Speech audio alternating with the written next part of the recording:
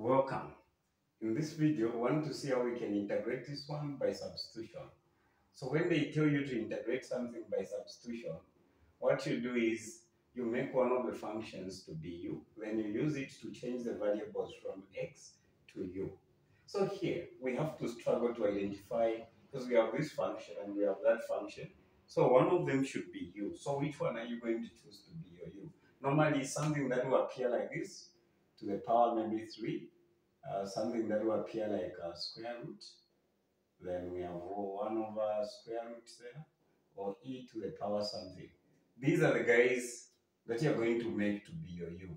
Okay? These guys, you're going to choose them. They are the ones that you choose to be your u. So from here, we can clearly see that we have something that appears like this. It may not be 3, we may have the power maybe of 5.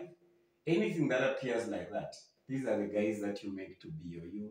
Then you use that u to manipulate and change the variable of integration from x to u. So let's do just that. So we've said our ln x is the one that we are going to let to be u. So what this means is we can now change everything to u. So our integration becomes this one, integral 1 over x multiplied by u to the power 3. We are integrating with respect to x. So once you replace u on one of these guys, you have to use that u and change dx and simplify the other x so that you remain with u and integrate in u.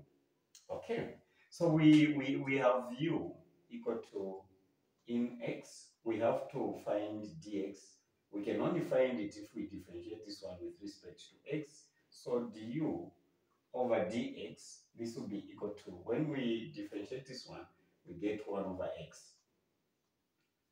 The next thing that we do from here, we need to make dx the subject so that we can remove it there. So this will be, will be uh, if we try to make dx the subject, we are going to have x du is equal to dx. So whenever there is dx, I'll put this statement in this one. So we are, our integral looks like this now. Integral of 1 over x u to the power 3 multiplied by dx, but you know dx is this one, x du. Okay, so at this point, we can uh, now simplify this one. Okay, we can simplify this. Then this will be integral of 1 over u to the power 3, then du. But if you remember, uh, if we have um, the denominator here, we can take it out so that now we can use the power rule to integrate. We can take this one out, but every time we take it out, the power becomes negative. The power will change its sign if we take it out like that. So this will be equal to integration of u to the power negative 3 with respect to u. Now here, we can use power rule there. We can use power rule. So this is going to be, we increase the power by 1. So we're going to have uh, u to the power negative 3 plus 1 divided by negative 3 plus 1, then plus the arbitrary constant. Every time you're integrating without limits, you have to come and add a c. So this will be equal to u to the power negative 2 over negative 2. Now I can push this one down if I want. This is going to look like this. This is going to look like this. This will be equal to 1 over negative 2, then u to the power 2. If you push again the power down, if you push this, this guy down here, the power will change from negative to positive. Even when you move it from there, you take it upwards, the power changes sign. But we know the value for we know the value for u, so we can replace it back. Our u was equal to this, so this becomes 1 over negative 2.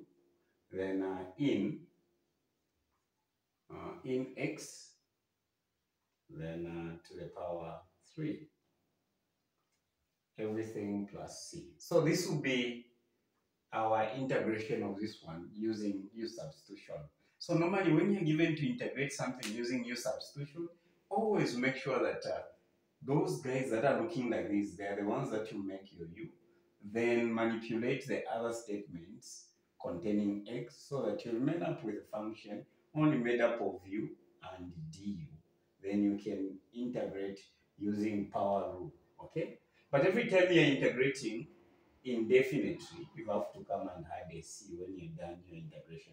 And later on, don't forget to uh, replace back the value for u because we said our u is equal to this, then we can replace it here, wherever there is u after we are done with our integration. Thank you so much for watching. We appreciate you.